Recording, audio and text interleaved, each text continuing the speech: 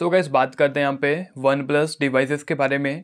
और आज हम बात करेंगे कॉल रिकॉर्डिंग फोल्डर के बारे में कि जो भी ऑटोमेटिक हो या फिर मैनुअल हो जो भी कॉल आप लोगों ने रिकॉर्ड किया है उसे आप लोग किस फोल्डर में देखेंगे इस वीडियो में हम आप लोगों को बताएँगे। वीडियो स्टार्ट करने से पहले आप लोग हमारे यूट्यूब चैनल को सब्सक्राइब कर लीजिएगा बेल का आइकन को प्रेस कर लेना है।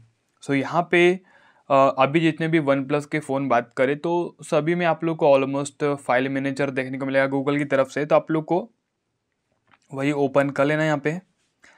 तो इस टाइप का हमें इंटरफेस देखने को मिलेगा। हम क्लिक करेंगे इंटरनल स्टोरेज पे, और यहीं पे आप लोग को डी सी में भी देखने को मिल सकता है रिकॉर्डिंग या फिर आप लोग को थोड़ा स्क्रॉल करेंगे और यहाँ पे रिकॉर्डिंग्स में भी देखने को मिल सकता है।